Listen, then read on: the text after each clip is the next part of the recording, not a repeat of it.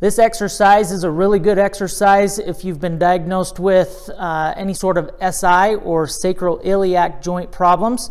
So a lot of times we have people come into the clinic complaining of back pain. It's really important to uh, get a good diagnosis and figure out what's causing the pain. And if um, it's coming from your SI joint, most of the time you're complaining of your pain off to the side over in this part right here um, on either side, and, and that's your SI joint. It's a joint between the bottom part of your spinal column, so your sacrum, and where your pelvis meets, meets that sacrum. Okay, there is a joint there.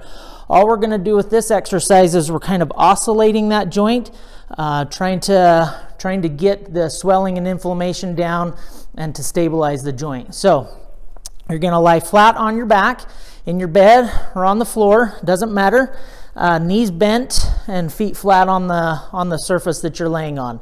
You're going to take the side that you're having problems on. So in this case, it's his left side. You're going to raise the leg up and we're going to have you put your hands on your knees. So what he's going to do here now is he's trying to bring his leg up while resisting with his hands. You're going to hold that for 5 to 10 seconds, get a good contraction, and then go ahead and let off, and then repeat. Okay?